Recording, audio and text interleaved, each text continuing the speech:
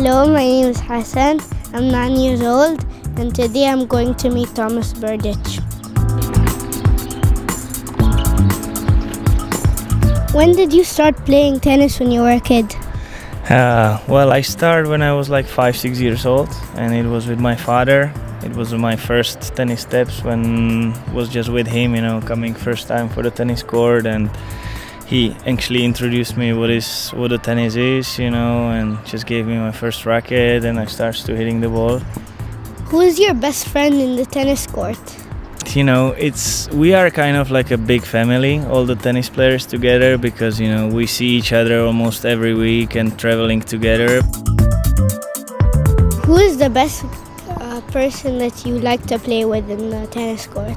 I always enjoy the best to play against Roger Federer because you know I think he's so far the yeah he's already now the best player in in the tennis and uh, that always makes the match with him really special. What advice would you give to young Emirati tennis players? The way to to become a tennis player is really quite long, but you know the very important thing is like to to see the things and go step by step. Always to have a the goal that you want to achieve and then when you make it make another one and try to go one by one. Tomas are you ready for a game of tennis?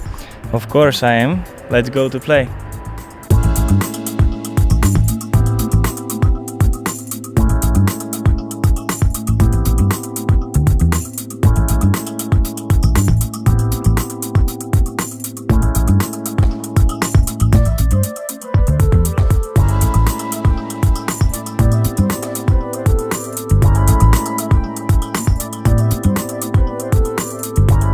It was good playing with Berdych today. I hit some really good shots and I hope to be number one in the world one day.